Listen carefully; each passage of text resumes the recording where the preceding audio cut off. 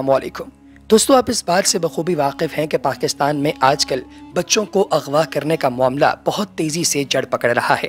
ये एक ऐसी चीज़ थी जो कि 80 या 90 की दहाई में हुआ करती थी और फिर इस अगवा करने के बाद तावान मांगा जाता था।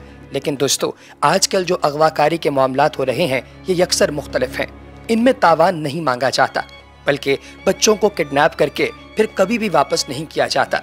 या तो इन बच्चों के आज़ाद निकाल कर बेच दिए जाते हैं, या फिर इन्हें ताहयात किसी ऐसी जगह पर ले जाकर भिकारी बना दिया जाता है, जहाँ पर कोई इन्हें ना जानता हो।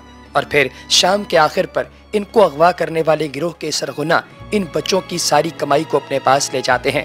कभी तो इन बच्चों को अंधा कर दिया जाता है, कभी इनकी टांग काट दी जाती है और कभी इनके साथ कोई और ऐसा गलत काम किया जाता है।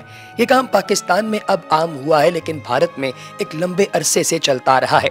भारत के अंदर अगर आपने देखा हो तो एक अवार्ड विनिंग मूवी जिसका नाम स्लम डॉग मिलियनियर था, उसके अंदर भी इसी स्टोरी को हाईलाइट किया गया है। जिसके अंदर लोगों को किडनैप किया जाता था और फिर उसके बाद इन बच्चों को भिकारी बनाकर मुख्तलिफ़ स्टॉप्स पर खड़ा करके इनसे पैसे वसूल करवाए जाते थे। लेकिन दोस्तों, ये जो क्लिप आप देख रहे हैं, ये पाकिस्तान ही किसी इलाके का है, किसी नवाही इलाके का लग रहा है, क्योंकि एक तरफ़ खेत है और दूसरी तरफ़ घर है और ये उस घर के टॉप पर लगी हुई फुटेज है।